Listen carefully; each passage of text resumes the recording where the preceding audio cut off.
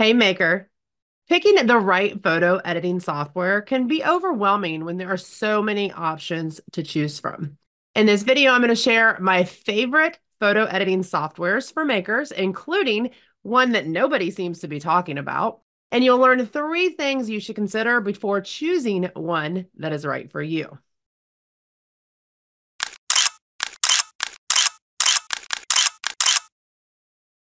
If this is your first time joining me, my name is Kristina Nicole, and I'm a product photography coach teaching makers like you how to take your own high quality product photos that actually attract more customers and make more sales for your product based business. Now, it isn't a secret that my favorite free photo editing app that pretty much does it all is Snapseed. The Snapseed app is owned by Google and it's available on smartphones and tablets.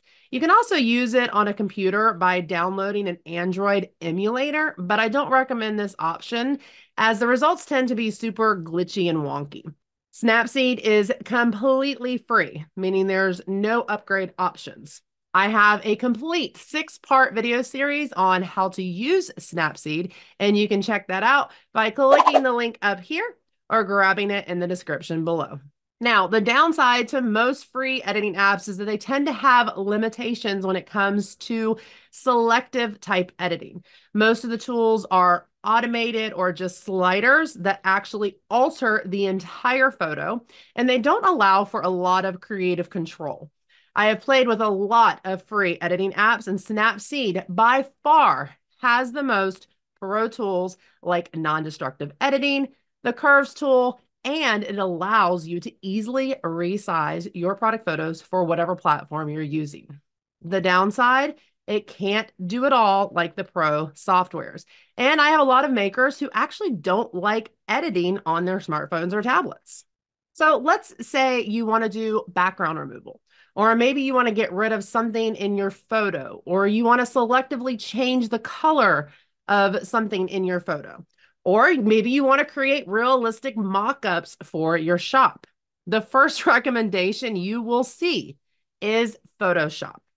But Photoshop comes with a steep learning curve and a very high price point. Not only do you have to pay for it monthly, you are locked into a contract. But over the past few months, I have been playing with a new pro software, and I think it's perfect for makers. While it rivals Photoshop and has all of the pro editing options, I find it easier to navigate and use. And this is coming from a photographer that has been using Photoshop for 20 plus years.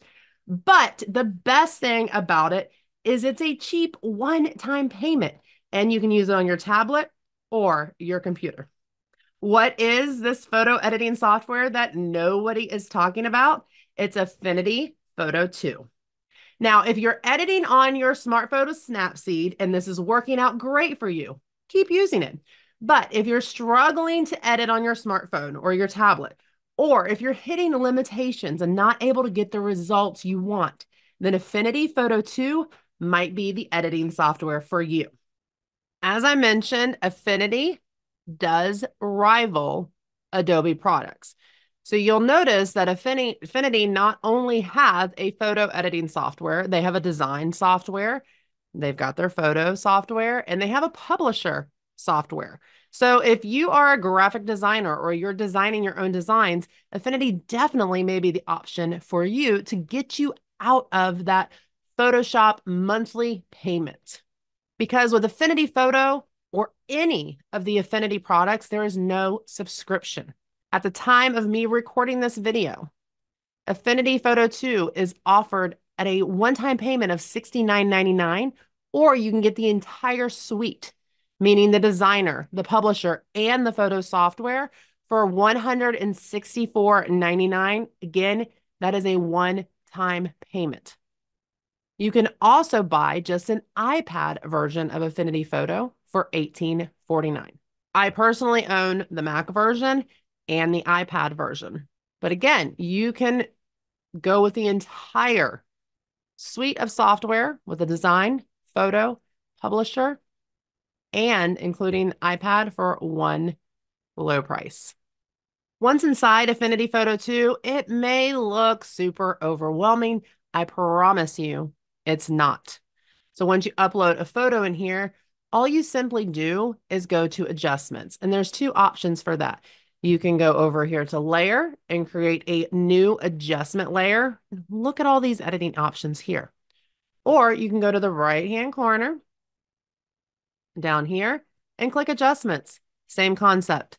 Typically what we're going to do is we at least want to adjust our exposure. So if we go in, we're going to increase or decrease our exposure.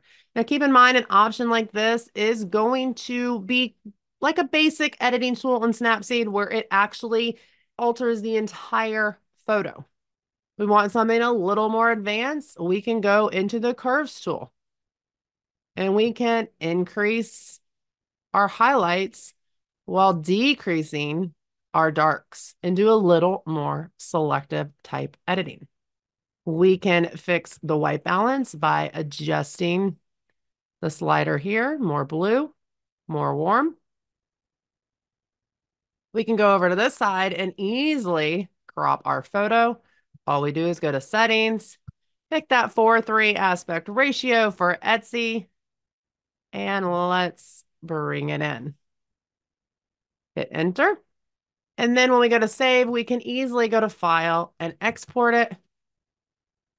Selecting the JPEG, we can adjust those pixel dimensions for Etsy, 2667 by 2000, and export that photo.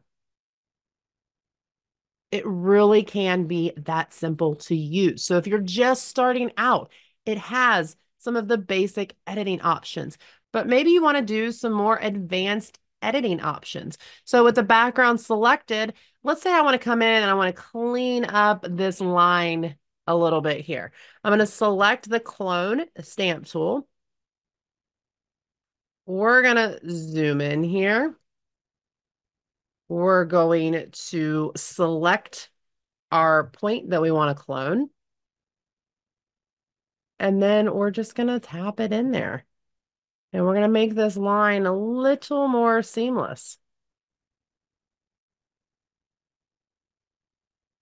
Now, before you pick a photo editing software, there are three things to consider before you decide which one might be right for you. The first thing you need to think about is how do you like to edit? Do you like to edit on a smartphone, a tablet, or a computer?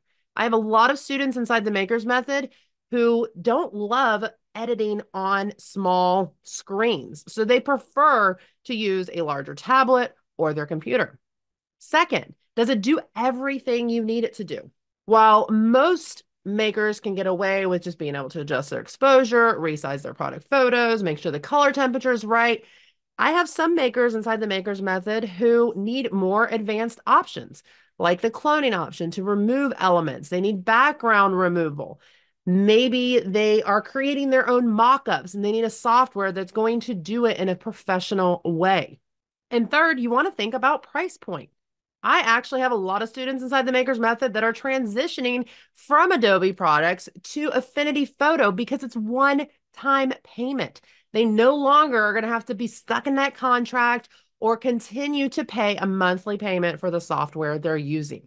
I am all about getting the results you need in the most convenient and cheapest way possible. And I'm going to tell you, Affinity Photo is where it's at.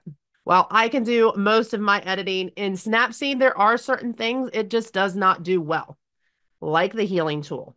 I get a lot more accuracy using the clone tool inside of Affinity. And maybe you'll like using both photo editing softwares as well. If you have questions about Affinity Photo 2, drop them in the comments below and I'll get them answered. Please take the time to like this video if you found it useful and don't forget to hit that subscribe button if you want to learn more about taking your own high quality product photos. See you next time.